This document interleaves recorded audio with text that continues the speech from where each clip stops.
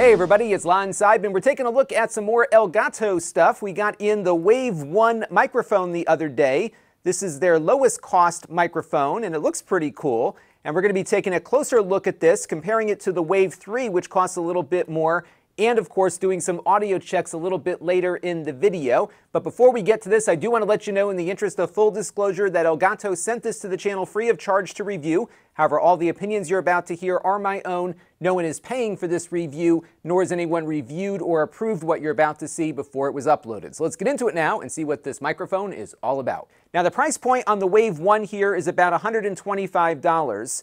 The Wave 3 microphone looks very similar to this Wave 1 mic, and it only has a few differences that we'll take a look at right now. So on the Wave 1, uh, you do have a control dial here, but this will only control headphone volume or the input gain and nothing else. And you can't actually change the function of the dial unless you go into software and do it.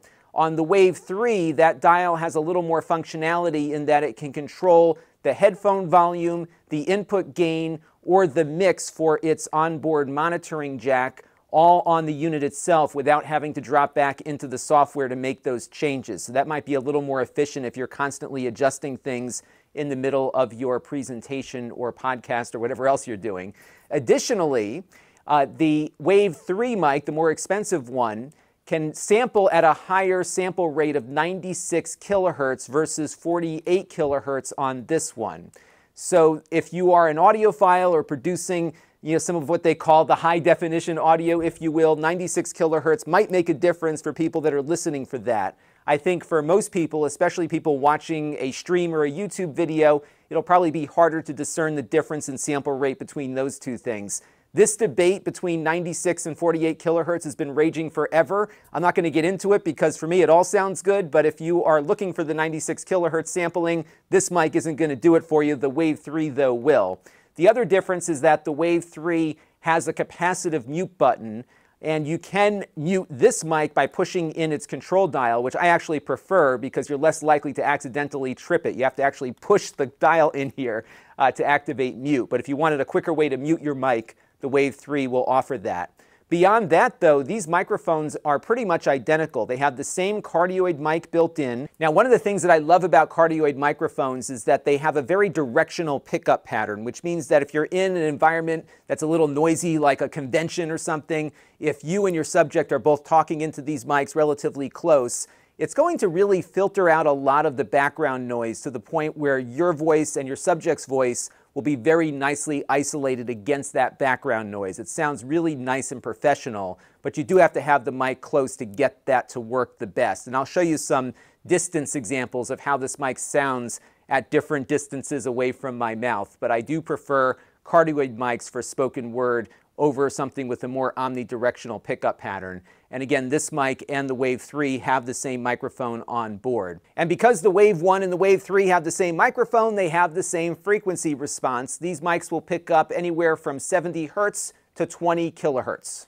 Now the hardware here is really nicely designed. It looks a lot like a classic late night talk show host microphone. It's just got a really cool look to it. The base here comes with it, so this is what you'll get out of the box. The base is nice and heavy. It's got a nice big rubber foot at the bottom to keep it from sliding around. And you can also take the microphone off the base and put it on a mounting arm, which we're going to do in a few minutes. But you want to make sure that you don't lose this little part that comes in the box because you need this to get it on a mounting arm. So just make sure you find a safe place to this if you plan to move the mic back and forth between its stand and an arm. Uh, the mic itself has just one control on the front, the control dial that we mentioned earlier, and I'll show you how that works in a little bit. Uh, you do have some range of movement here on the stand. You can also tighten things up or loosen them if you want to prevent the mic from moving around too much. And then on the back here, you've got a USB Type-C port. This only requires a single connection to the computer. The computer will power it through the USB port. And it comes with a really nice long USB-C to USB-A cable but of course, you can bring your own USB-C to USB-C cable into the mix if you prefer. You also, for monitoring, have a headphone jack on the back here, and you can choose to listen to the microphone's output in real time and or your computer's mix coming back out of the PC if you want to do that. And that's pretty much it for the hardware. So what we're going to do now is get this connected to my computer. I'm going to show you the software. After we get through that software overview, we'll do a couple of different mic tests to see how this sounds at different distances. So let's get to that. Now this is the Wavelink software. This is what you use to configure the microphone. And it's also a software mixer. So what you could do is actually run all of your audio through the Wavelink software, get all the levels to where you want them, and then output that audio stream as a single audio output into OBS or vMix or something like that. We're not going to cover that today, but Elgato's got some really good tutorials about how you can use it for that purpose. But let's take a look now at some of these settings so we can see exactly what we can configure on the microphone. Now, one thing I would look for when you first get this thing going is to make sure it's on the most current firmware. When I got mine, there was a firmware update available, and when I installed it, I got a new function for my dial because apparently uh, the dial here initially only changed the headphone output volume, but now they give you the choice as to whether or not you want that dial to be input gain or output volume. So I set mine to be input gain. I think that's more useful for uh, what I might want to do with it. So that works great. But again, you have to jump into the software to change that back to a headphone output setting, whereas on the Wave 3, you would have the ability to make those changes on the unit itself. And as I change the dial here, you can see that input gain changing here each time I go a stop on the dial there. So that is what you can do with that and it's your choice as to what works best. Now again, if I had the uh, headphone uh, volume level here set on the dial function, the headphone jack would be adjusted with that dial. And then you have three audio enhancements here. One is a low cut filter, and what this will do is kind of get rid of some of the lower uh, bassier kind of things that might be running in the background, like a fan or something that might be uh, kind of cutting in under your audio. This will get rid of some of those lower frequency sounds. So if you turn that on, it would get rid of that. Uh, this is a feature that we'll test in a few minutes called Clip Guard. And what this will do is prevent your microphone from peaking. So if you are a gamer and your volume of speech might change if you've done something really cool in the game, uh, this will prevent audio distortion by automatically lowering the volume levels so that your scream will sound great but not distorted. And again, I'll show you how that works in a minute. Be prepared for that. And then you also have a setting here called Wave Gain Lock. And this is something that you might want to use if you're plugging this into an iPad. I did try it with an iPad earlier. It works fine.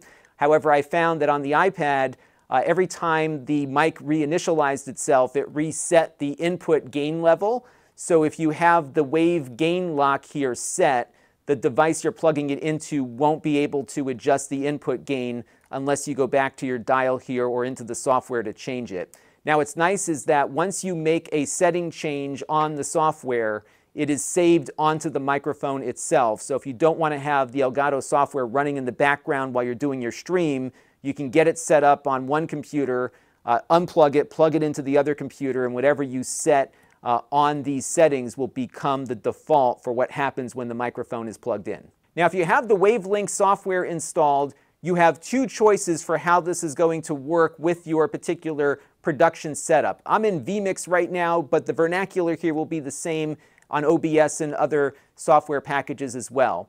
Now what you're going to see right here is a mic in output for the Elgato Wave, and that will bring in the microphone by itself, and that's what I think most people might use. Now, if you are using the Wavelink software as a mixer, then what you want to select here is Wavelink Stream, and that will bring in the microphone here along with everything else that I'm running through that Wavelink mixer. The latency on it is super low. There's really no penalty for using the mixer, but if you don't need to use the mixer's features, I think it's best to just select the microphone itself and manage everything in your production software. So that is what we're going to do right now. So I'm going to configure a couple of things to get my audio into this production. And when I come back, you're going to be hearing the audio out of the microphone directly and not out of my lavalier. And the mic is about probably two and a half feet or so from where I am seated at the moment. So we're going to start here and then we'll move over to a mic arm where I can get it a little bit closer. All right, so now we are on the microphone again, about two to two and a half feet away from where I am currently seated. It does sound like I'm a little distant, and I can maybe try to turn up the input gain like I just did here, but it's going to not sound as good as it will when the microphone is up closer. Now, another reason why you might want to get your microphone off the desk is that it's going to pick up a lot of typing noises. So right now I'm typing on my computer here. You're hearing those keys type partly because I have the gain turned up on the microphone to pick me up from this distance, but also because the shock against the desk here is going up the mic stand as well. Now, what we're going to do to rectify this is move the microphone closer to me with a mic arm. Now, Elgato sells mic arms. You can also get cheaper ones like the one I have here with exposed springs and everything. They all generally have the same screw-in connector on the end of them. And for that, of course, we're going to need to use the adapter. And so what I'm going to do next is unscrew the mic from the stand here, get it up on the arm, and we'll see how much better things sound when we bring the mic closer. All right, so now I've got the mic a lot closer, and as you can hear, it sounds a lot better. And you can see also that my mic gain is pretty low right now because the mic is so close to my face. Before, we were about right here on the input gain.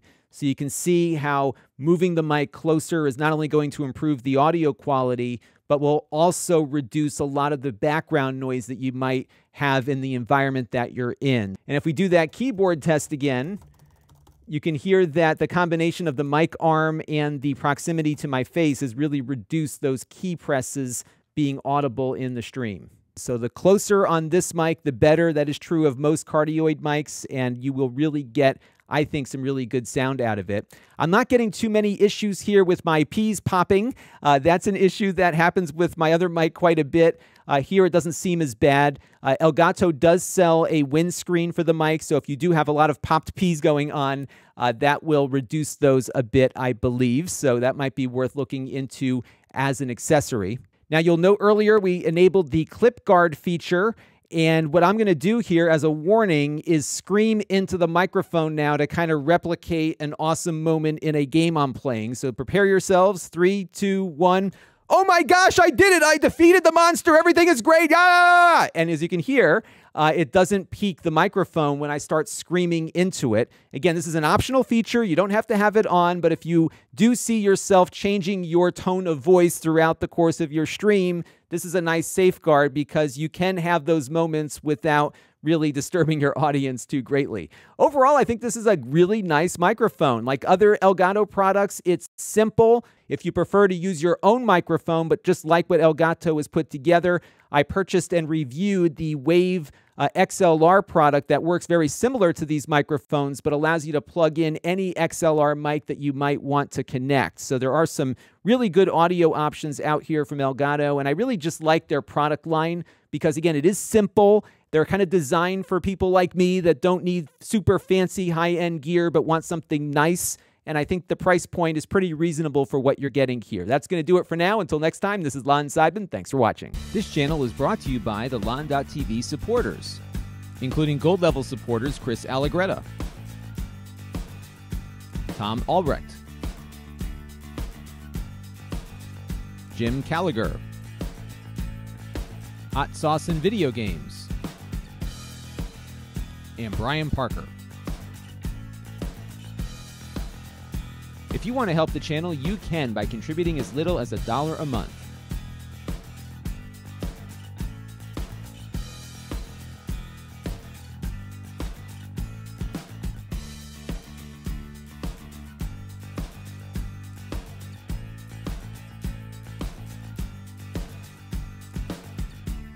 Head over to lon.tv slash support to learn more.